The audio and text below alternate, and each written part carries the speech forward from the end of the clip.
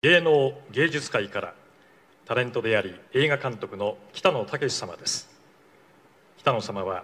お笑いタレント司会者俳優そして映画監督とさまざまな才能を発揮していらっしゃいます。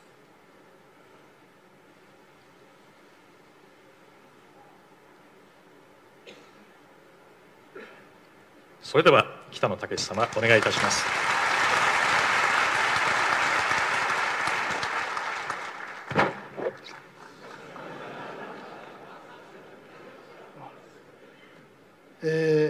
祝辞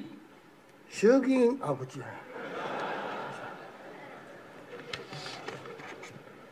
ホニハヘッドお祝いの言葉。天皇皇后陛下におかれ両陛下におかれましてはごご即位から30年の長きにわたり国民の安寧と幸せ世界の平和を祈り国民に寄り添っていただき深く感謝いたします私はちょうど60年前の今日当時12歳だったその日母に連れられて日の丸の旗を持つ大勢の群衆の中にいました。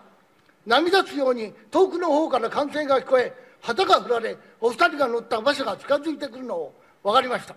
母は私の頭を押さえ頭を下げろ消してあげるんじゃない。ポコポコ殴りながら罰が当たるぞと言いました。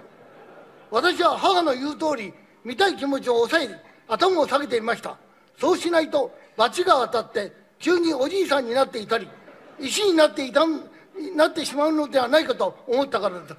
そういうわけでお姿を拝見することは叶いませんでしたがお二人が目の前を通り過ぎていくのははっきりと感じることができました。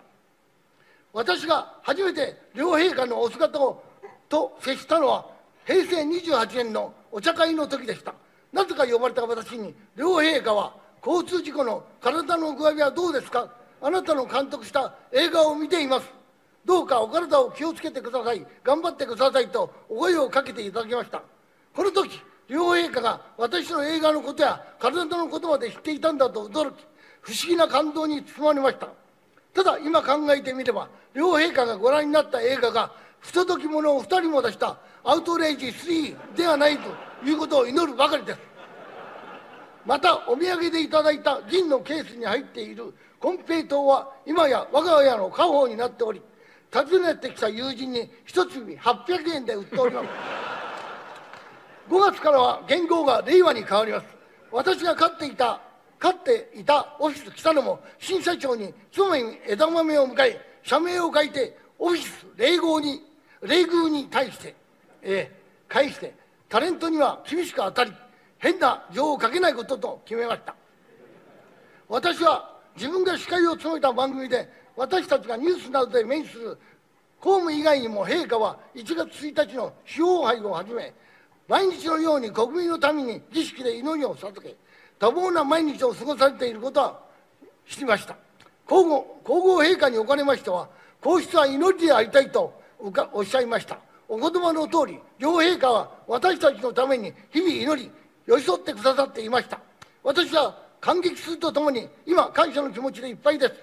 平成は平和の時代であった一方災害が次々に日本を襲った時代でもあります。その度にニュースには天皇皇后両陛下が被災地をご訪問され被災者に寄り添う姿が映し出されました。平成28年8月陛下は次のように述べられております。私はこれまで天皇の務めとして何よりもまず国民の安寧と幸せを祈ることを大切に考えてきましたが同時にことにあたっては時として人々の傍らに立ちその声に耳を傾け思いより思いより思い寄り添うことも大切なことと考えてきました。国民の近くにいらっしゃり祈る存在であることそのお姿に私たちは救われ勇気と感動をいただきました。改めて平成という時代に感謝いたします。またずっと国民に寄り添っていただける天皇皇后両陛下のいらっしゃる日本という国に生を受けたことを幸せに思います。ありがとうございました